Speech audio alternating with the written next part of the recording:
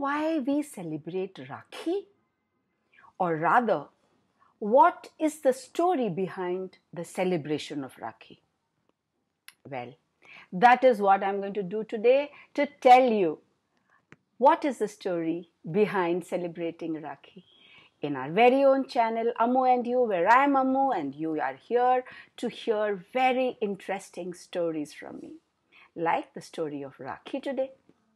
Rakhi is a beautiful festival celebrated by the Hindus. Now, in ancient times, many, many, many years ago, there was a Vanar king, a monkey king named Bali, and he was the king of Kishkindha in the Hindu epic Ramayana. Now, what's an epic? Epic is a long, long, long, long, interesting story. So, in that epic, Bali was a Vanar king of Kishkindha. He was son of Indra, Lord Indra, and the elder brother of Sugriv. He had obtained a boon that allowed him to receive half the strength of his opponents. So, whenever there was a fight, he would already add on to half the strength of his opponents. So, who could defeat him? Difficult, right? He was an ardent follower, devotee of Lord Vishnu. He would pray, pray, pray, pray, pray to Vishnu all the time. And he did it with so much of commitment and devotion that one day Lord Vishnu was so pleased and moved by his devotion, he appeared before King Bali. Now, can you imagine what Bali did when he saw Lord Vishnu in front of him? He was just overjoyed. He fell on the ground in reverence, thanking him for that appearance. Lord Vishnu, the benevolent one, the kind one, who always loves his devotees. He was so pleased with Bali and his devotion that he asked him to ask for a boon. And friends, guess what did Bali ask? He said that I am such a devotee of you, Lord, that I want to worship you day and night continuously without any disturbance and any break.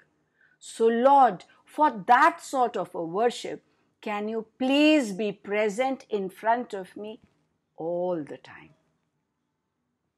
Now, Lord Vishnu could not deny him that because he had asked him to ask for a boon. And so, what did he do? He stayed there as Bali's gatekeeper, Chokidar, like we call. He stood there at the door of Bali's room as his guard. Bali, of course, could not believe his luck. He was so happy, so happy, so happy. He set out on his worshipping Lord Vishnu again. Days passed, weeks passed, years passed, and Bali kept on worshipping him. Now, friends, you know, in ancient times it is said that the devotion and commitment was so strong that it could move the gods, and hence gods would appear and grant boons. And the things that may appear supernatural to us was not very supernatural then. And so, Lord Vishnu staying there as a guard for Bali was an easily done thing, of course, easily we are saying, forgetting the utter devotion of King Bali. No food, no drink, and they did not need it also because their mental power and their devotion overpowered everything. To attain such a state one must really work, work, work hard to prepare and gain that mental strength and hence the physical strength. With Lord Vishnu staying at Bali, his wife, goddess Lakshmi, started missing him. She started saying, It's been so long that my husband, my Lord, is away and I'm missing him. I want him back. Now, how can he, how can she get him back? Because she started uh, sending messages to Lord Vishnu that please come back, my Lord. But Lord Vishnu smiled and said that how can I, my dearest? I have given a boon to my devotee and I have to be present here all the time for him. Now, Goddess Lakshmi thought of a plan.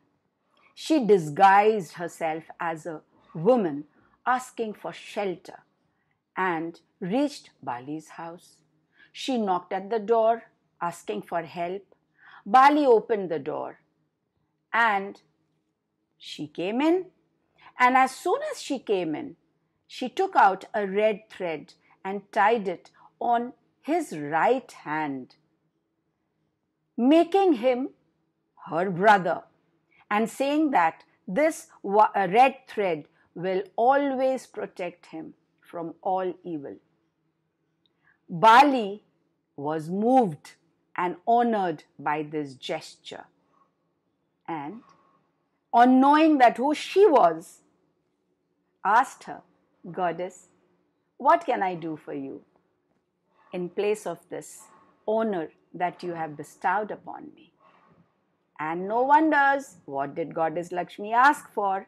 Please let my husband go.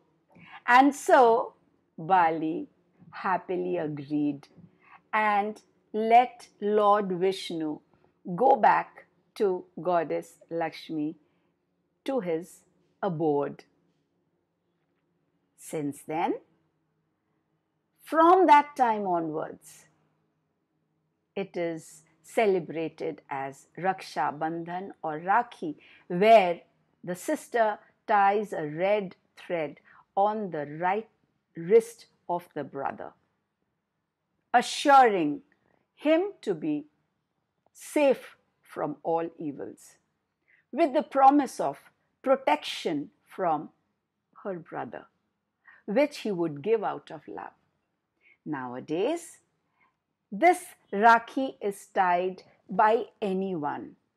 The sister can tie it to the brother, the brother can tie it to the sister, and both of them promising to be there for each other throughout their lives. One interesting thing more. Do you know why this Rakhi is tied always on the right hand? Well, since it is believed that the clockwise direction is in order with the universe. All the planets, everything is moving clockwise and it moves from right to left. And so, this clockwise motion is used for all good rituals. Hence, the right hand is used to tie Rakhi. Now, there are many other stories behind the celebration of Rakhi. This is one story that I wish to narrate to you. I have narrated other stories also before on Rakhi, and I would do the others remaining ones later sometime. For today, happy Raksha Bandhan to all of you. Celebrate this festival of love and joy. And Rakhi or no Rakhi, be there for each other because that is what is true love all about. Like the story? Let me know. Write your comments in the comment section below the video. Thank you so much for listening to the story and thank you so much for always being there to listen to my story. Continue doing so and continue engaging with me by sending your thoughts through the comments. I'll come back soon again. Till then, bye bye. Stay blessed and stay happy always.